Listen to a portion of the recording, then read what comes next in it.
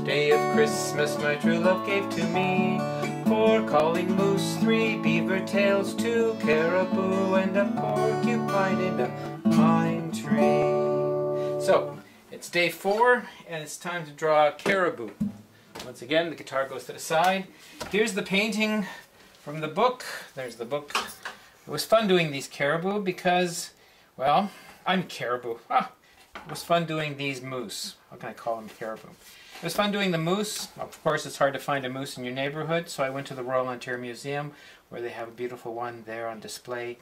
And it was a wonderful day drawing it. Now, this was one of the sketches that I did, but I wanted to make them a little bit more ca uh, cartoony. And so what we want to do today is draw those moose. Now, once again, we're going to start with the ground. And then we're going to go up. Now we're going to use those gesture lines because there's four of them. One's going to go that way, one's going to go that way, one will go that way, and one will go that way. Now, those three, those four lines will tell me which way my car my, my moose, why do I say caribou? My moose are going. Now, first thing I'm going to do is I'm going to just show how high I want them. And then I'm going to do, here's the body again. There's the body of that one. We'll do the two front ones first. And then we'll go up here and what we'll do is we'll put a, sort of a triangle for the head. And for the other one we'll also do a little bit of a triangle for the head. Again these are like stick figures. And then what we'll do is we'll go for the feet, the legs. And the legs come down here and the legs come down. So now we connect. Now the neat thing about moose is they've got these funny faces where their noses come down like that. And they have these big lips for grabbing weeds underwater. There's those beards. And then these big bodies.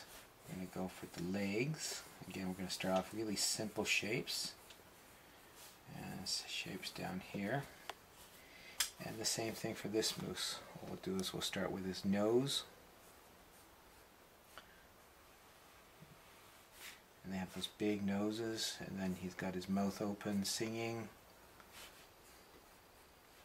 I'll put a smile on him. Put this beard that a moose has. And we'll come down, we'll keep it simple still, around the circle. We'll the, the upper muscles of the legs. We'll go down to the knees, square them off, and we'll go down to the hooves. And they, they have actually very sh sharp, smaller hooves than the caribou had. I guess they don't have to run as much on snow or else they can stay above it.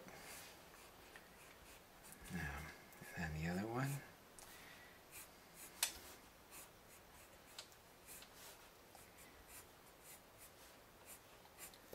Now, we'll come up here, and for the mooses, oh, let's put their eyes on. They were had their eyes closed. When you're singing, Sometimes you close your eyes just to hear how wonderful the music is. We'll put his big ears here. Moose have these big ears. Sometimes they stand up, so we'll put his ears going up like this. And then they have those big antlers. And what we're going to do is we're just going to do big curves like this, just to make those huge antlers. And some of them are going to overlap. Come down right here, just finish this off a little bit oh, this moose on the side here.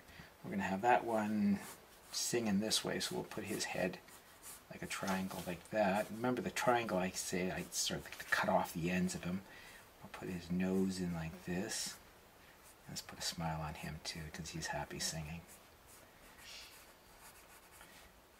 His eyes. Oops, his nose should be up like that. Sorry. Noses. And this moose, well this one's going to be hanging up from behind so he's, he's showing up and we'll put his antlers coming back there. This moose is going to be singing out this way. We'll put his head there. They're hiding behind I guess. We have to make sure that we don't hide them too much. Put his nose like this.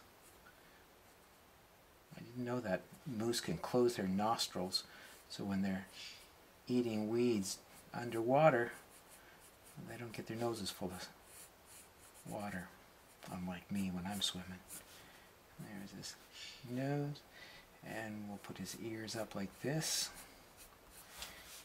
And we have to put those antlers on and they'll come in behind like this. Now let's go back up to those antlers. They're huge on moose. Okay, which moose are we going to put forward? That one. We'll put this one front.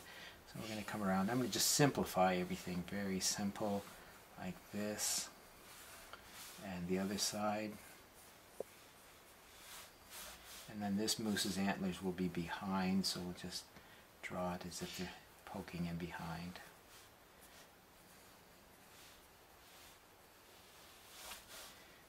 Okay, put a smile on him too. These were very happy moose, the way I saw them in the story. Now moose have big humps on their back, so we'll put a big hump right here, and a big hump right here. Now, one of the things that you have to pay a lot of attention to is putting their back legs in, and sometimes that can be hard because you have to count and fit them all in. So I'm just going to put one back leg back there if I had more time. Remember, these things always take a lot of time to do. And then we can put this moose with his legs out like this. Let's put that moose out with his legs out like this, as if they were sticking out. So we'll do this put his joints, because the knee joints are big, even on humans. And put his hoof like that.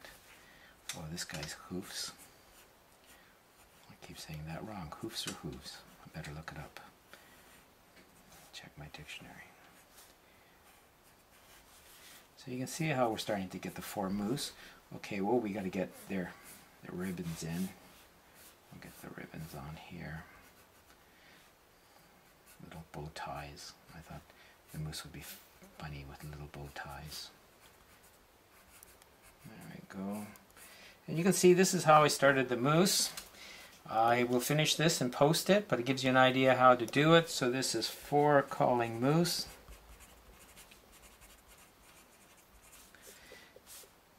Uh, for 12 days of drawing. Well, thanks for joining me. All right, whoops.